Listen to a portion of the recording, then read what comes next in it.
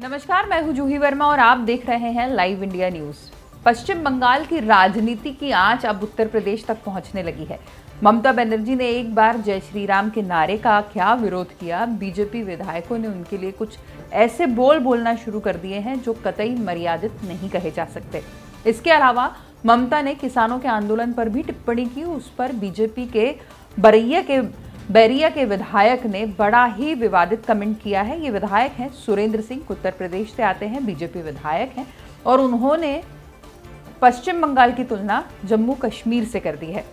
सुरेंद्र सिंह का कहना है कि जो हाल जम्मू कश्मीर का था, वही हाल अब पश्चिम बंगाल का हो गया है, जहाँ की पुलिस किसी की बातें नहीं सुनती है, निरंकुश पुलिस है। इतना ही नहीं, उन्होंने कहा कि ममता बनर्जी का नाम अब निर्दयता बनर्जी हो जाना चाहिए। वो कतई ममता बनर्जी नाम उन पर सूट नहीं करता। यहाँ तक भी ठीक था। पश्चिम बंगाल की जम्मू कश्मीर से तुलना की गई पुलिस प्रशासन को कुछ कुछ कहा गया। ये सब सहन करने लायक बातें थी, लेकिन इसके बाद जो ममता बनर्जी पर उन्होंने टिप्पणी की इस सवाल पर कि वो ममता बनर्जी के कमेंट पर क्या कहेंगे, वो बिल्कुल नागवार गुजरने वाली टिप्पणी है। उन्होंने ममता बनर्जी की तुलना सीधे सीधे लंकिनी से कर दी। लंकिनी यानी रामायण में माइथोलॉजी में वो करेक्टर है जो लंका की पहरेदारी के लिए बाहर बैठी एक राक्षसी थी।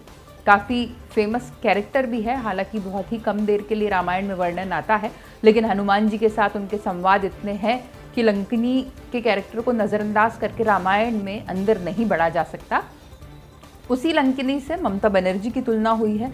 न सिर्फ़ ममता बनर्जी, बल्कि राहुल गांधी के लिए भी कुछ अपशब्द कहे गए हैं और उन्होंने राहुल गांधी को कहा है कि वो तो इटली वाले हैं, इटली जाते रहते हैं और इस तरीके से उन्होंने राहुल गांधी पर भी विवादित बयान दिए हैं। इससे ये अंदाज़ा लगाया जा सकता है कि बीजेपी पश्चिम बंगाल में पूरी मेहनत तो कर ही रही है ममता बनर्जी की सरकार को हराने के लिए, लेकिन बीजेपी के कुछ विधायक ऐसे हैं जो जिनके बिगड़े बोल पार्टी को नुकसान भी पहुँचा सकते हैं।